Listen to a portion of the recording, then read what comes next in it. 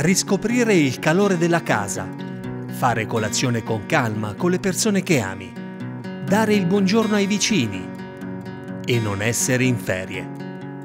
Smart working, così ce lo aveva frettolosamente definito il dirigente al momento della chiusura degli uffici per la pandemia, disorientando tutti. Per settimane non avremmo più rivisto i colleghi, preso il caffè insieme, discusso nella pausa pranzo.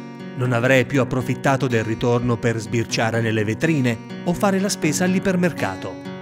Certo non avrei più dovuto svegliarmi all'alba cercare parcheggio alla stazione, finendo per fare l'ultimo tratto di corsa ed entrare trafelati in ascensore.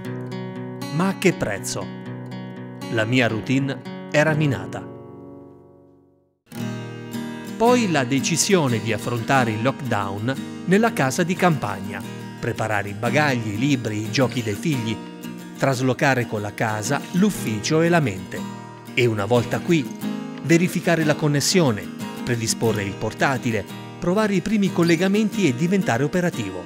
E di colpo acquisire nuove abitudini, gestendo gli orari a piacimento, avendo più tempo per la famiglia, per gli hobby, per me.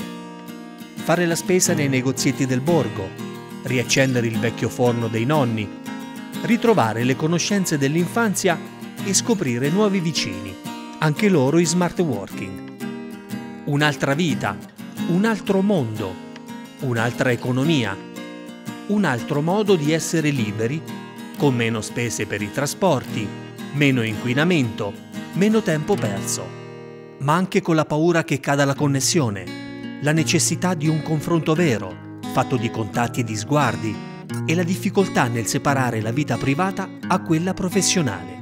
Il terrore è vero di non avere più punti di riferimento, di non iniziare e non staccare mai dal lavoro, di non essere più nessuno, la vertigine di chi è risucchiato da un vortice, l'impressione di non essere più io. Poi di colpo la voglia di tornare a vivere la metropoli, coi suoi monumenti e i suoi megastore, col suo traffico e il suo rumore, ma senza esagerare. Non so quale delle due vite preferirei una volta finita la pandemia perché so che entrambe mi mancherebbero. Perciò sogno un mondo nuovo, in cui si possa lavorare da casa, ma anche discutere dal vivo in ufficio, in cui si possa viaggiare per non perdere i contatti umani, ma ci si possa anche confrontare rapidamente col resto del mondo dalla propria scrivania. Sogno un lavoro anche sia più smart dello smart, che possa conciliare umanità e tecnologia e che mi permetta di poter vivere con semplicità i quartieri cittadini e di ridare slancio ai paesi e ai piccoli borghi.